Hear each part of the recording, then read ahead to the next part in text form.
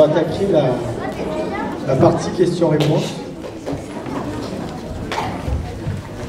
Je m'équipe.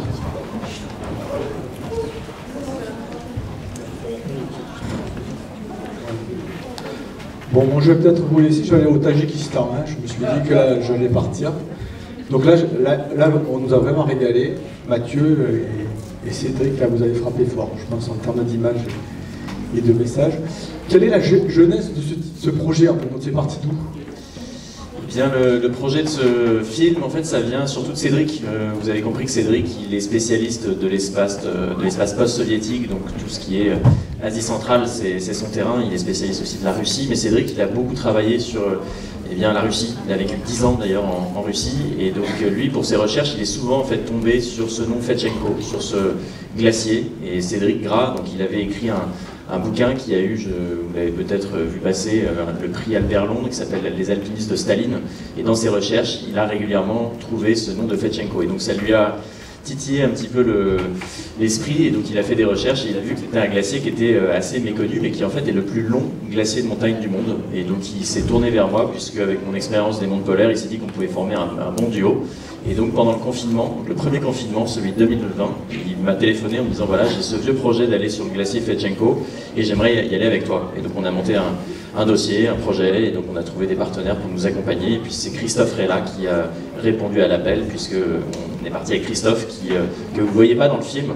Mais c'est important de, mentionner sa présence, puisque sans lui, il n'y aurait pas eu de film. Christophe, c'est un homme orchestre, c'est lui qui a fait les images, qui a fait le montage, et qui a fait la musique aussi. Euh, donc il, a vraiment, il est vraiment derrière, derrière toutes ces images que vous avez vues. C'est lui qui euh, faisait euh, la caméra au sol, le drone. Donc euh, nous, on est à l'image, mais ce film existe grâce, grâce à Christophe. On voit à un moment donné que l'é- l'équipe avec la- laquelle vous êtes, il y a donc ce guide qui a été enseigné l'alpinisme russe, des porteurs qui, sont, qui ont des doubles métiers, hein, qui est travailleur social. Techniquement, est-ce que tu peux nous dire si ça a demandé des compétences assez puissantes? C'est vrai que vous avez vu dans le film, donc on a des porteurs. Euh, La raison pour laquelle on a des porteurs, c'est qu'on est parti pour à peu près deux semaines d'autonomie et que comme on faisait un film, il nous fallait donc des caméras, des batteries, des panneaux solaires et puis de la nourriture pour tout le monde. Donc nous, on ne pouvait pas avec nos petits bras et nos petites jambes tout emmener euh, avec nous. Donc on a fait appel à, des porteurs. Sauf que les porteurs au Tadjikistan, ils n'étaient pas aussi organisés qu'au Népal. Euh, Au Népal, vous savez, il y a un tourisme euh, de montagne qui est beaucoup plus développé et donc euh, quand on fait appel à ce service-là, eh bien tout est très encadré. Au Tadjikistan, c'est pas du tout le cas. Euh, il y avait des porteurs qui bah, connaissaient pas très bien la montagne. On le voit par exemple quand Zarbali, vous avez vu, il glisse un petit peu sur la paroi. C'est un peu inquiétant. Et en fait, ça s'explique par le fait qu'au Tadjikistan, l'alpinisme, euh, eh bien, il est plus pratiqué. Il était pratiqué avant, à l'époque de l'URSS, avant la chute de, de l'URSS, mais aujourd'hui, il n'y a plus grand monde. Et pour preuve, le seul guide qu'on a trouvé, c'était Anatolie, et c'est la seule personne dans tout le pays qui connaît, euh, qui connaisse vraiment l'itinéraire. Donc les porteurs qu'on avait, c'était des gens qui étaient plus ou moins expérimentés, mais qui étaient tous, en tout cas, très très heureux en fait de faire cette découverte avec nous, parce que vous avez vu qu'il n'y en a pas un seul qui était allé sur le glacier. Euh, en tout cas, euh, il y en avait qui avaient fait une partie de la route, mais personne n'avait vu ce glacier. Et il faut voir à la fin dans la station, vous avez vu, ils sont aussi émerveillés que nous en fait de faire cette découverte.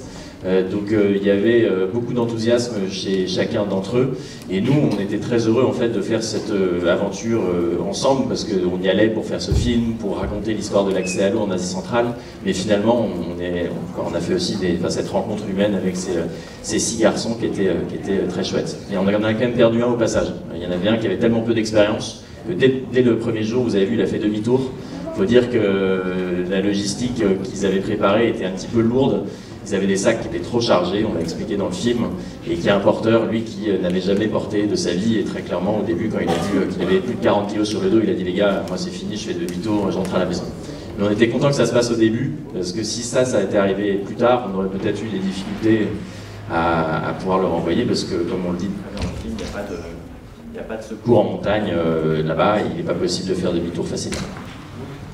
Alors, je, je disais à Mathieu tout à l'heure, il y a 25 ans, je faisais des études, des études d'ingénieur et il y avait euh, Jean-Michel euh, Barnier qui avait fait un, un livre qui s'appelait Risques technologiques.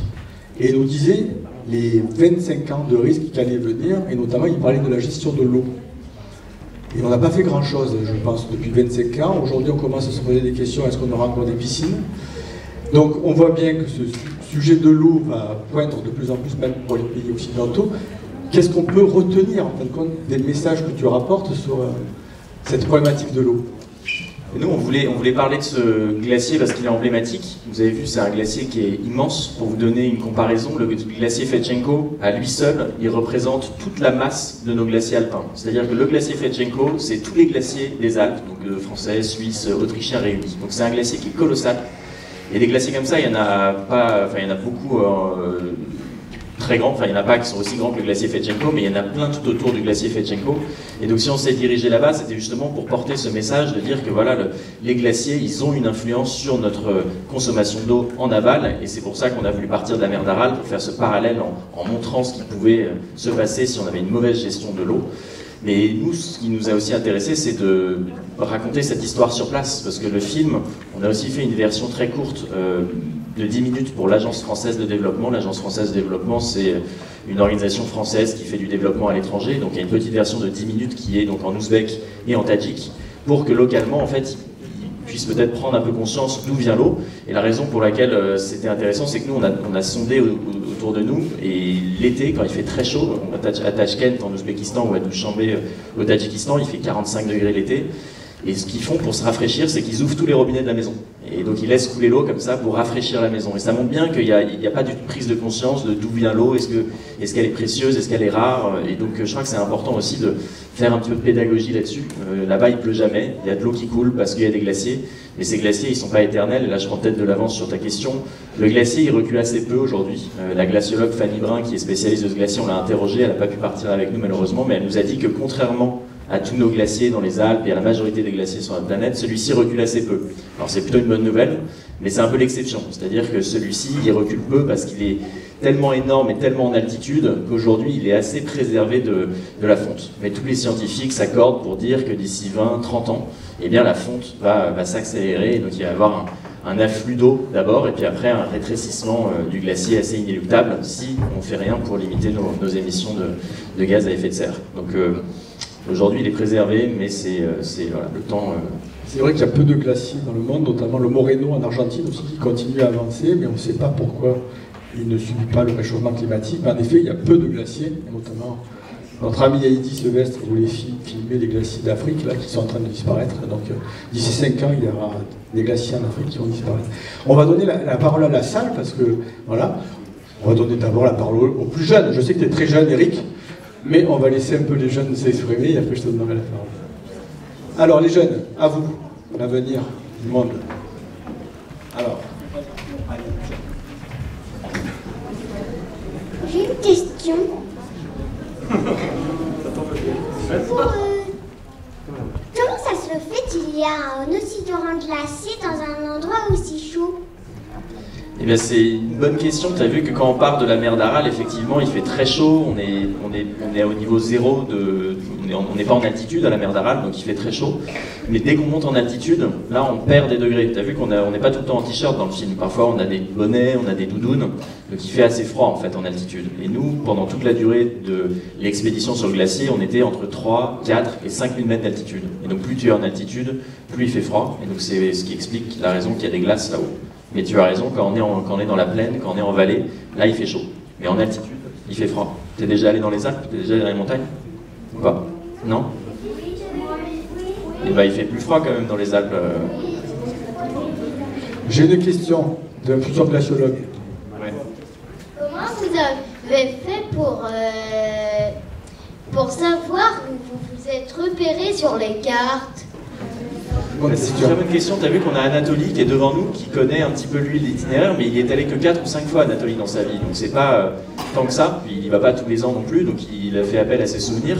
Et en plus de ça, le trajet, il n'y a pas de balise, il n'y a pas de cairn, il n'y a pas de marquage au sol comme il peut y avoir, euh, par exemple, sur nos chemins de randonnée euh, dans la forêt ou, ailleurs. Et donc Anatoly, connaissait parce qu'il avait des cartes, des vieilles cartes soviétiques, et puis il avait ses souvenirs. Et puis on regardait le terrain aussi, on regardait où passer. Mais c'est vrai que parfois il fallait sortir la corde, il y avait des passages qui étaient plus raides. Et grâce à Anatolie, on a pu, euh, on a pu trouver notre, notre chemin. Et puis aujourd'hui, on a quand même des petits appareils qui s'appellent des GPS. Ça, ça nous a permis d'évaluer exactement les distances euh, qui nous restaient à parcourir. Mais c'était quand même une grande aventure parce qu'on avait, on a croisé personne. Et un, exemple pour te donner ça, et après je prendrai une autre question. Mais quand on est arrivé dans la base, vous savez, la grande base de la fin, on a euh, trouvé un, livre. Et dans ce livre, on l'a ouvert et on a vu en fait les gens qui étaient passés avant nous. C'est une espèce de livre, pas un livre d'or parce que c'est pas un hôtel, mais c'est des gens laissés des petits mots. Et quand on est arrivé, nous, dans la base, il y avait deux personnes qui étaient passées avant nous en 2021. En 2020, il n'y avait personne, parce que c'était la pandémie, c'était le Covid, donc personne n'y était allé. Et en 2019, il y avait un groupe de 5 personnes et un autre de 2 personnes. Donc il y a vraiment très très peu de passages. On est dans un endroit qui est très isolé. Et donc euh, c'est pour ça qu'il n'y a pas de marquage et qu'il n'y a, pas de, a pas beaucoup de passages et qu'il faut euh, bah, trouver son chemin avec quelqu'un qui, euh, qui est déjà allé. Encore une question ici, alors Mathieu. Comment, comment il aurait pu avoir de l'eau dans, dans le désert. Comment il a pu avoir de l'eau dans le désert? Je veux dire au début, la grande mer qu'on voit En fait, cette grande mer qu'on a montrée au début, elle était alimentée par les glaciers. Nous, notre projet, notre voyage, c'était de partir de la mer d'Aral, qui, elle, en fait, est alimentée par des fleuves, et ces fleuves, ils sont alimentés par les glaciers. En fait, tu as le glacier tout en haut, qui lui fond un petit peu, tu descends d'altitude, qui alimente des fleuves, et ces fleuves alimentent des mers. Mais c'est pas vraiment des mers. Dire une mer, c'est un peu trompeur parce que on dit la mer d'Aral, mais en fait, c'est un lac. C'est un immense lac. On appelle ça la mer d'Aral, mais c'est une mer qui est fermée. Et donc ce grand lac, la mer d'Aral, elle était alimentée par les fleuves qui, eux, sont alimentés par les glaciers. Et aujourd'hui, tu as compris, la mer d'Aral, elle est en train de rétrécir parce que les fleuves, en fait, ils n'alimentent plus cette mer. Et la mer, en fait, elle est juste en train de disparaître complètement. Oui, et elle, est en train de disparaître parce que les fleuves qui alimentaient cette mer, en fait, ils ont été, euh, ils, sont, ils ont été, euh, enfin, les Tadjiks et les Ouzbeks on prélèvent en fait énormément d'eau dans le fleuve pour alimenter leur culture, pour l'agriculture et pour leur consommation, ce qui fait qu'il y a de moins en moins d'eau dans le fleuve et que le fleuve il rétrécit de plus en plus et il n'alimente plus la mer. En fait, il y a une mauvaise gestion de l'eau, si tu veux, parce qu'il y a une politique de faire beaucoup de coton. Tu te souviens des images d'archives qu'on a vues au début? Bah, dans les années 70-80, euh, euh, les soviétiques ils utilisaient beaucoup l'eau des fleuves pour faire de la culture et ils en ont tellement utilisé que les fleuves ils, ont, ils sont réduits, ils sont reculés et ça, ça a fait disparaître la mer d'Aral. Alors j'ai une question du plus jeune de la salle, Eric. On parlait de, on parlait de la fonte de, la glace, euh, où on relativise la, fonte de la glace, mais on voit euh, au centre de la, les la moraine euh, médiane, les moraines latérales sont très visibles, ce qui veut dire que la fonte est déjà déjà bien attaquée.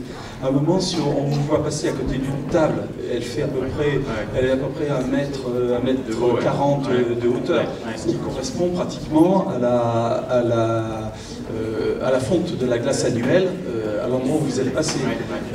Alors, il est évident qu'on n'a pas l'impression que ça fonde beaucoup, mais lorsqu'on regarde les bords de, la vallée glaciaire, on voit la trace euh, haute de la, glace, et on se dit que néanmoins, il y a une descente en altitude du glacier qui est quand même très forte, et euh, si elle paraît euh, plus modeste, c'est en fait une question de proportion, parce que le, glacier est tellement large et tellement long qu'on a l'impression qu'il se passe moins de choses que sur d'autres glaciers.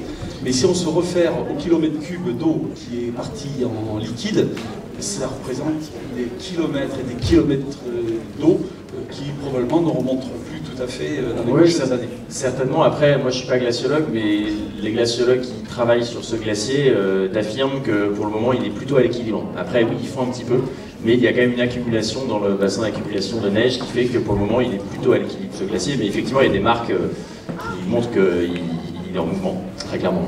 J'ai une question de la salle. Euh, pourquoi la, mer d'Aral est salée alors qu'elle est alimentée par un glacier Alors t'es pas le premier à me poser la question, et elle est salée parce que c'est un processus d'acidification. Mais j'ai pas de plus d'informations euh, physiques, peut-être qu'il y a des spécialistes dans la salle, mais apparemment ça s'acidifie et ça devient de plus en plus salé, un petit peu comme l'est la mer morte, la mer morte qui est un peu le même, qui un peu le même schéma, quoi, une mer fermée, euh, très salée. Je suis déjà jaloux de Mathieu parce qu'il m'a déjà glissé dans l'oreille ses futurs projets. Donc j'ai entendu parler de l'Antarctique, alors je me suis dit merde, quelle chance. Donc peux-tu nous dire tes futurs projets, Mathieu? Oui, moi c'est vrai que mes projets ils tournent surtout autour des glaces, donc euh, de l'Antarctique, de l'Arctique. J'avais la chance de faire une grande expédition au pôle Sud. Euh, J'étais parti de la côte du continent antarctique pour rallier le pôle Sud, donc j'ai eu la chance de voir l'intérieur du continent antarctique. Et là, euh, en, en janvier et en février de l'année prochaine, dans quelques mois, je vais repartir en Antarctique, mais cette fois sur un bateau à voile, sur un voilier. On va partir d'Ushuaia en Amérique du Sud. Et on va partir en péninsule antarctique pendant deux mois avec un photographe animalier qui s'appelle Rémi Villet et d'autres euh, membres de l'équipage. On sera six et l'idée c'est euh, d'accompagner cet équipage puisque moi on m'a fait la proposition de, les rejoindre et de découvrir une, partie de l'Antarctique que je ne connais je pas du tout. Bon, je pense qu'on peut applaudir Mathieu. On va 10 minutes de pause et on va rattaquer avec le premier film. Merci. Et je suis encore là pendant deux jours, donc si vous avez des questions, n'hésitez pas.